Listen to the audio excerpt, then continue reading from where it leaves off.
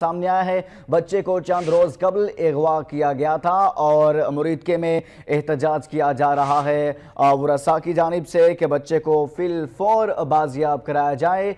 मुरीद के में ये एहतजाज किया जा रहा है, जिसके बायस ट्रैफ़िक भी जाम हो गई है। मेन जीटी रोड पर ये एहतजाज जारी है। जिसके बायस ट्रैफ़िक का निज़ाम भी पूरी तरह मुतासर हो रहा है। मुरीद के से आपको खबर दे रहे हैं कि जहाँ पर बच्चे की अदम बाजियाबी पर एहतजाज किया जा रहा है और मुतालबा किया जा रहा है कि हमारे बच्चे को फौरी बाजियाब कराया जाए।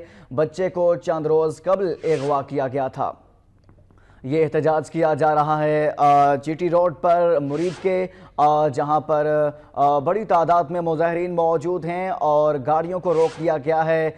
मेन जीटी रोड है, जिसको ब्लॉक कर दिया गया है, जिसकी वजह से ट्रैफ़िक का निज़ाम भी बुरी तरह मुतासर हो रहा है। ये मनाजिर आप देख सकते हैं कि एहतजाज किया जा रहा है। बच्चे की बाजियाबी के लिए मुरीद के में अगवा होने वाले बच्चे की अदम बाजियाबी पर एहतजाज किया जा रहा है और मुतालबा किया जा रहा है कि हमारे बच्चे को फौरी बाजियाब कराया जाए। बच्चे को चंद रोज़ कबल अगवा किया गया था। इसी हवाले से मजीद जानेंगे उजैर शाहिद से। उजैर शाहिद बताइएगा एहतजाज किया जा रहा है? अभी भी एहतजाज जारी है। आ, क्या कब तक ये एहतजाज किया जाएगा?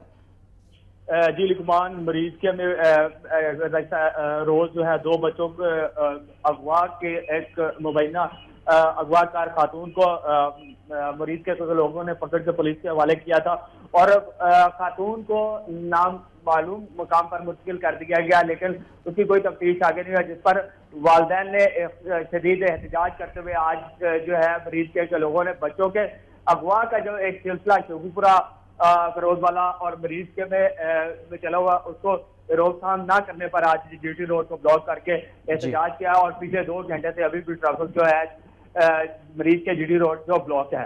जी। अभी तक भी एहतजाज किया जा रहा है और बड़ी तादाद में मुजाहरीन मौजूद हैं। मुतालबा किया जा रहा है कि बच्चे की बाजियाबी के हवाले से और जिसकी वजह से एहतजाज की वजह से ट्रैफ़िक का निज़ाम भी मुतासर हो रहा है।